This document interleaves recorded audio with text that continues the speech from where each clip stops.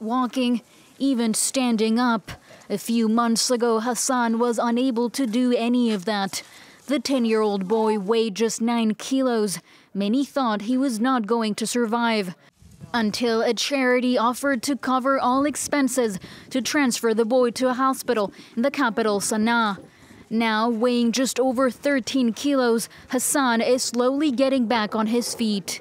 وفعله خير ورحنا ابو صنعاء تعالج والحمد لله تحسن يعني اليوم قد يمشي على ما تشوفه. ولكنه عدو يعني يبغى معنا المعاودة. But his health remains fragile. Because of the war, the boy and his family have been displaced several times. Now they live in Hajjah, one of the poorest regions in the country. Here, severe shortages are the norm, especially food. Meals often consist of bread and rice. As a result, Hassan needs more treatment and makes regular trips to a medical center.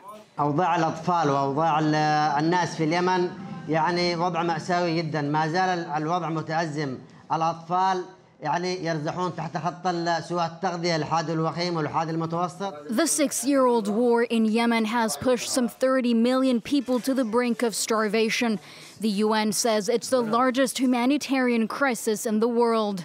A crumbling economy, fuel shortages, and the coronavirus pandemic have only made it worse, and children are bearing the brunt of the crisis.